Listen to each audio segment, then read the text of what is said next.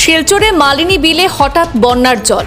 হঠাৎ করে জল বেড়ে প্লাবিত করেছে মালিনী বিল সংলগ্ন এলাকা।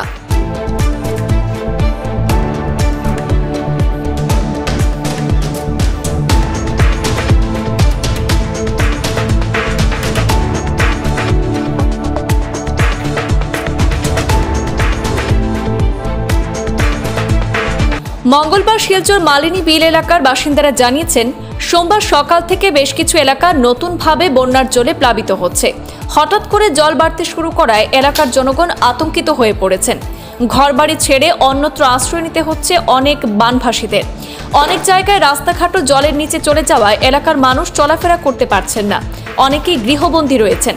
সরকারের পক্ষ থেকে এখনও পর্যন্ত কোনো ধরনের সাহায্য পাননি গৃহবন্দীরা। তাই সাংবাদিকদের মাধ্যমে সরকারের কাছে মালিনী বীরের বন্যা পীড়িতরা সাহায্যের আবেদন জানিয়েছেন।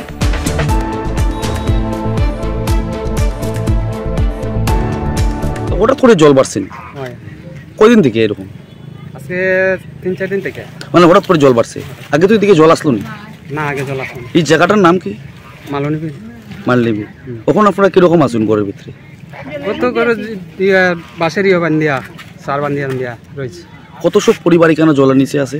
জলের নিচে আছে আড়াইশো তিনশো পরিবারের মতো আছে। এখনও জলের নিচে? সরকার তো থেকে সম্পূর্ণ সাইড সরকার থেকে কোনো সাহায্য পাইছেন?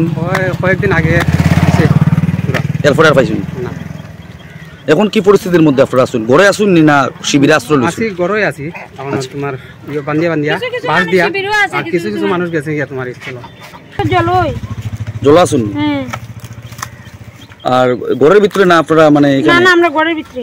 আর এখানে কয়েকশো কয়েকশো পরিবার জলের নিচে আছে এখনও? তো জলের নিচে তো সব তোর তিনশো পরিবার। তো কিছু মানুষ শিবিরও গেছে স্কুল স্কুলও গেছে। আর যারা ঘরে থাকতে পারে সাঙ্গুং বান্ধিয়া তারা থাকে। যারা সুবিধা মানে জলটা হঠাৎ বাড়ছে আপনারা না হ্যাঁ।